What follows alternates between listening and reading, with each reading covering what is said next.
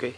Galera, causos e histórias do Rio Grande. Causos e histórias do Rio Grande hoje vai ser uma dica, uma história.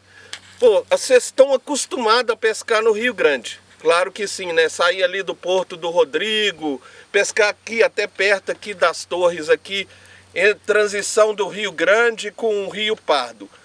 Nós estamos falando hoje sobre o Rio Pardo e sobre um animal que atrapalha a pescaria se você vier de short e subir para cima das torres onde que nós estamos, você vai encontrar um animal, um mosquito, um inseto chamado mutuca. Galera, a gente está dando toque, é se vier pescar no Rancho Branco, para cima das torres, venha com calça e blusa de manga comprida, para você não sofrer.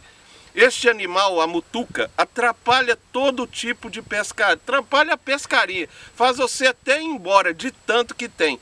É um mosquitão desse tamanho, se der chance a gente vai filmar ele hoje, né?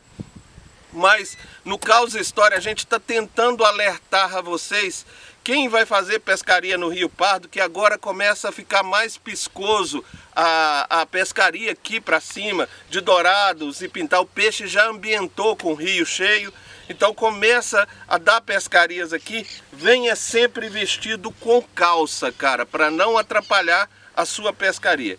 Causas Histórias hoje relatou e dando uma dica para você que vai vir pescar aqui no Rio Pardo, não passar aperto por causa da mutuca tem bastante mutuca aí pra cima. Valeu, galera! Galera, ó a mutuca que a gente fala aí, ó. O tamanho aí no Causos e História. Tem demais, mas demais mesmo aí, ó, na borda do barco aí, ó. A senhora mutuca, quem vier pescar no pardo tem que ficar bem alerta. Não adianta repelente, é só roupa mesmo, né? Isso aí, valeu galera, senhora mutuca aí, ó.